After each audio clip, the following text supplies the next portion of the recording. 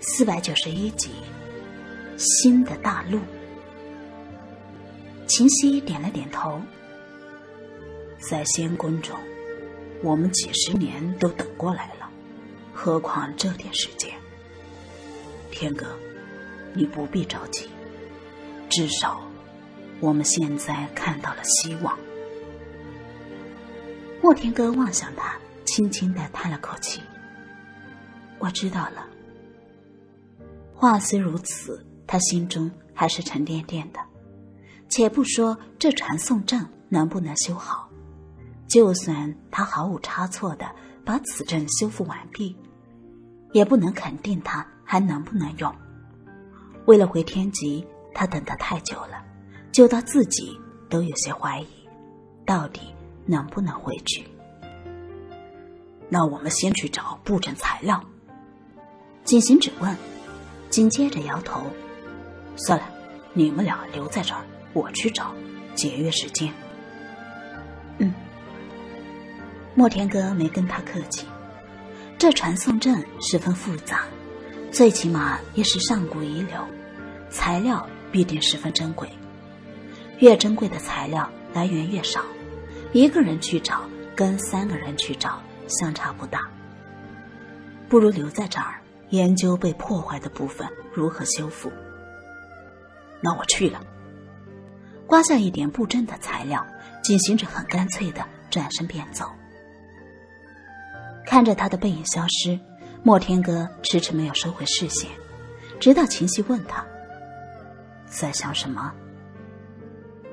我在想，他到底会不会跟我们一起回天极呢？他有些困惑的看向清溪，我怎么觉得他太积极了？清溪笑了，这个我可答不了，这家伙谁说的准？顿了一下，他无声的叹了口气。不过，这传送阵，不管能不能送我们回天极，我们都欠了他一个很大的人情。在仙宫之中，他曾出手救了锦行止一次。后来在危急时刻，锦行止一直没有弃他们而去，而在天劫中冒着生命之危出来压箱底的绝招。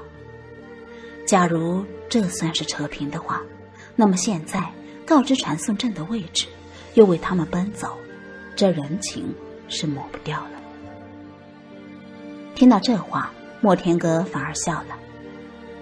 怕什么？欠他人情，总比欠他感情的好。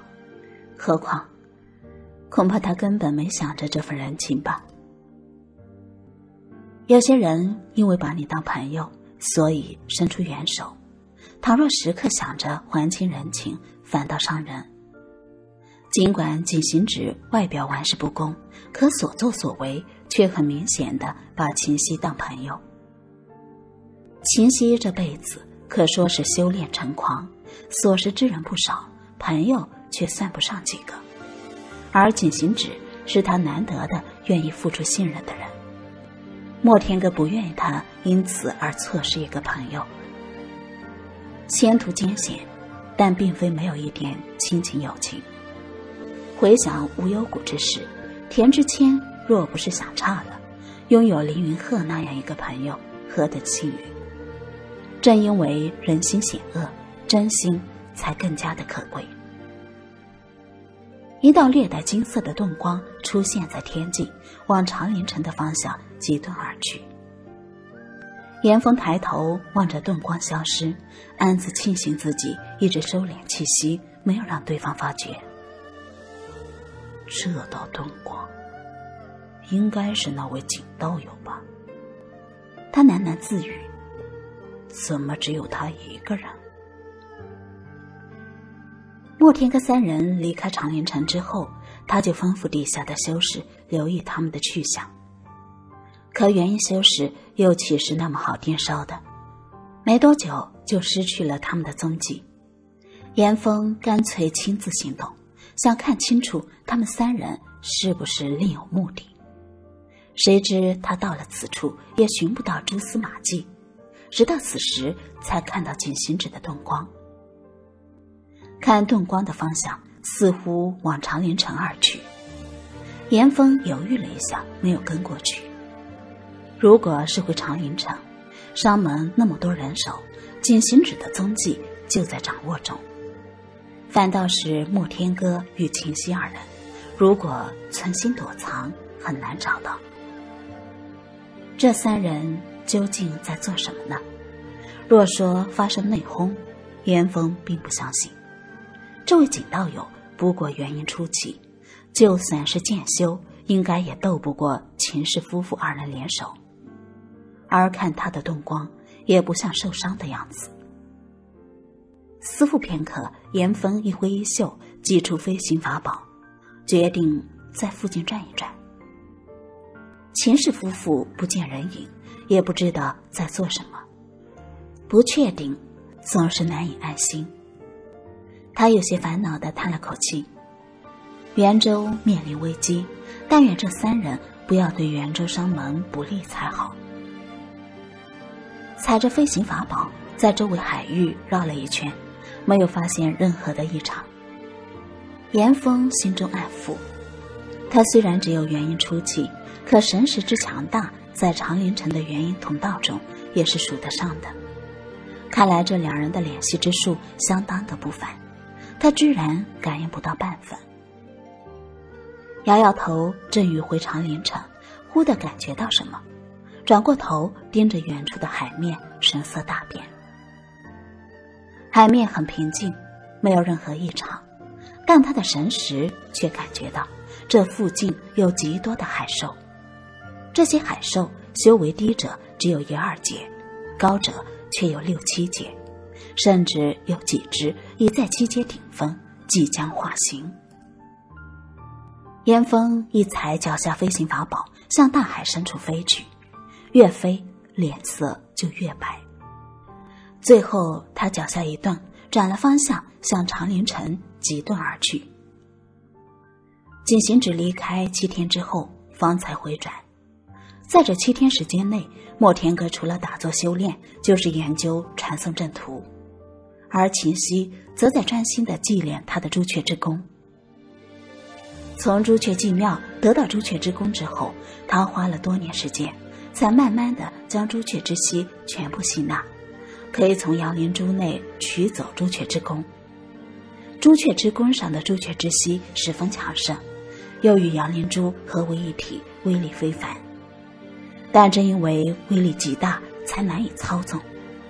当日天劫。他也只是勉强将朱雀之弓从杨灵中内取出，一身的朱雀之焰也仅仅只能射出那一箭。那一箭之威，居然将第九重天劫的惊雷击散了大部分。这让秦西意识到，若是能将朱雀之弓祭炼的随心所欲，元婴境界，将无人能抵挡他全力一击的一剑。回到山洞，看到逆行阵内莫天歌与秦溪安然无恙，景行止吐出一口气，说道：“你们俩没事吧？”莫天歌祈祷：“没有什么事，你怎么了？”景行止抹了把脸，随意坐下休息，神色有些疲惫。长林城又出大事了。哦，不对，应该说是袁州。又出大事了，怎么回事？秦溪停下修炼，望着他。这要从何说起？锦行止抓着脑袋，最后道：“算了，从头说吧。我回长林城的当天，周围的海域就出现了大批的海兽。这些海兽，高阶、低阶都有，密密麻麻冲上岸来。”袭击了许多凡人和低阶修士。莫天阁与秦溪对看一眼，两人都有些吃惊。昆武每隔几十年或上百年都会发生一次妖兽之乱，莫非元州也是如此？可丁锦行止的语气似乎这并不寻常。元州可没有妖兽之乱，知道他们在想什么。金星知道，袁州周围的海域一向很平静，从来没有发生过这样的事。难道是因为归墟海？莫天哥如此猜测。归墟海本是高阶海兽的地盘，圆州大陆突然出现这里，这些海兽因为被侵占了地盘而袭击人类。金行止摇摇头。如果仅仅只是出现许多海兽，也许可以这么解释。但是几日之后，我从长陵城的城主府打听到了惊人的消息。他望着莫天歌与秦溪，慢慢说道：“元州现在的南边，出现了一个新的大陆，一个被妖修占据的大陆。什么？”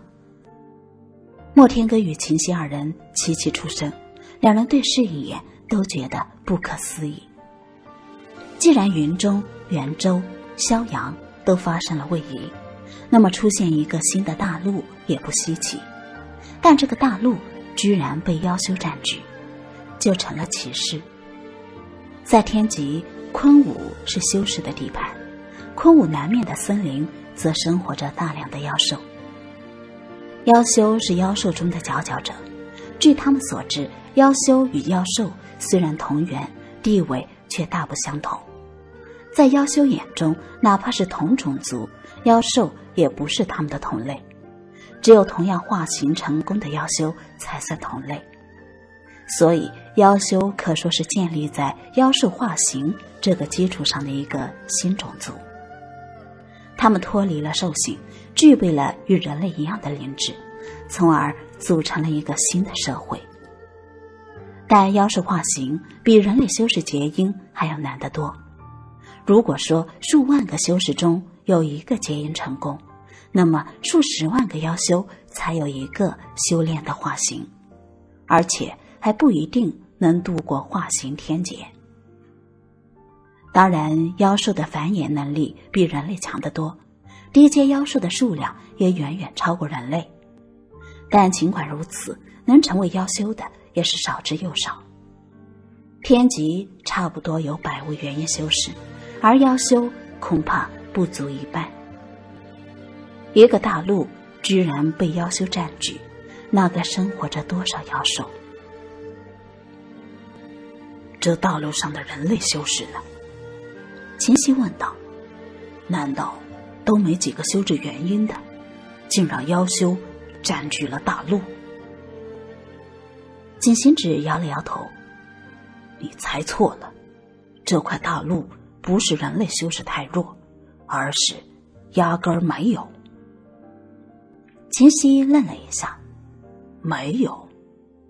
是啊，景行止说，数月前发生大陆位移这种事之后，元州商门就派人探路去了。往北的发现了萧阳，往南的则发现了这个妖修大陆。他们冒险进入这个大陆。发现只有妖兽，根本没有人类。秦西叹道：“果真是世界之大，无奇不有。我还道所有的大陆都是人类修士为主，原来还有被妖修占据的。这与海兽之事有关吗？”莫天哥问：“难道这些海兽不是归墟海的？”而是这个妖修大陆的，锦行止仍然摇头，不是，海兽当然是归墟海的，不过，他停下来，伸手在半空中一抹，用灵气画出一幅简易的地图。你看，这里是归墟海，这里就是妖修大陆，以前云中在这个位置，看出什么了吗？莫天哥盯着看了好一会儿，皱起了眉头。归墟海之所以有那么多的高阶海兽，是因为紧邻妖修大陆。锦行止点头，对他的机灵甚是满意。没错，元州商门的人打听到，此地天地异变，妖修大陆只往北移了移，位置与之前偏差不大，仍然与归墟海紧邻。以前云中的人只知道归墟海凶险，高阶海兽众多，却不知道那是归墟海中有妖修大陆的缘故。本集播讲完毕，欢迎继续收听。